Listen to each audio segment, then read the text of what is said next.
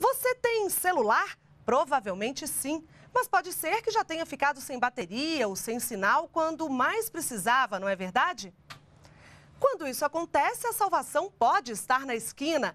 917 mil orelhões espalhados por todo o país são uma opção para ligações a qualquer hora. Mara Kenup e Jorge Monforte foram conhecer uma comunidade onde o telefone público ajuda todo mundo, moradores e visitantes. No coração da capital do país, pessoas falam ao celular o tempo todo. Dão notícias, passam recado, fecham negócios. A comunicação com o mundo cabe na palma da mão. Eu ligo só mesmo para falar coisas importantes assim. Dou notícias, recebo notícias. Mas se na cidade é fácil, longe dela a situação é outra. Na comunidade Café Sem Troco, a 50 quilômetros de Brasília, falar ao celular é um sacrifício. É difícil conseguir uma ligação. Tem hora que não pega nada, só sinal de fumaça.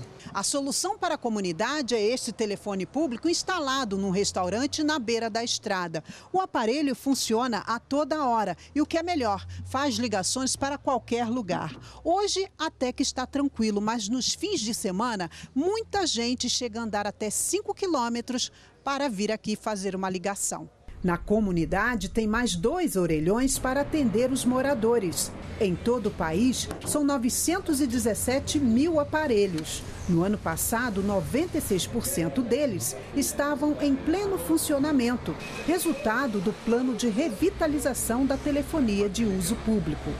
A gente é, fez um trabalho junto com todas as concessionárias de telefonia fixa no Brasil e durante boa parte de 2011 e 2012 foram feitos investimentos, mudanças de procedimentos internos nas empresas, levou essa situação de a gente, é, no final de 2012, ter mais de 90% da planta de orelhões em funcionamento. Esse é realmente um número é, bastante exitoso, principalmente considerando que os orelhões, é, em quase sua totalidade, ficam em, em locais disponíveis 24 horas, né?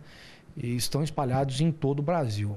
Ter um orelhão funcionando e disponível para qualquer emergência por aqui é fundamental.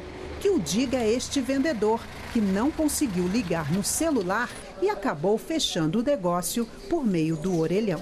A comunicação é melhor, porque aqui está muita falha. O celular não, quase não pega. Então a gente tem que socorrer num lugar que dá mais fácil, né?